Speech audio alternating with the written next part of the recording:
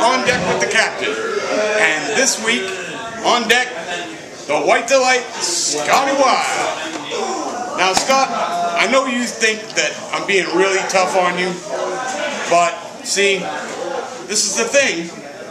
If you end up winning the IWE Championship, this is what you'll be facing in and out all the time.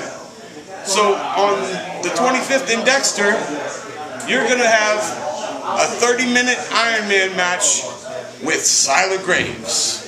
Okay. Okay. And then in the very next night in Augusta, you're going to face the Fortunate Son, Jeremy Leary, in a two out of three falls match. Really?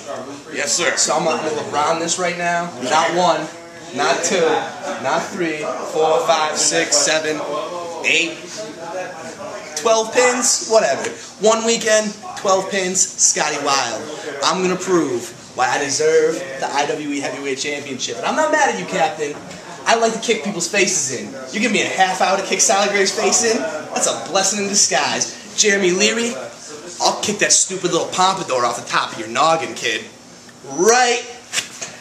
Receding hairline. It's not going to be a lot of fun for either of them. And I'm going to be tired. It's going to be a daunting, grueling weekend for me.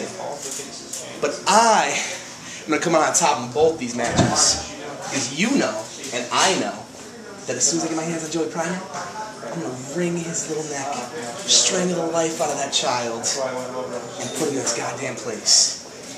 It's in the white delight. And that's right. Captain, out.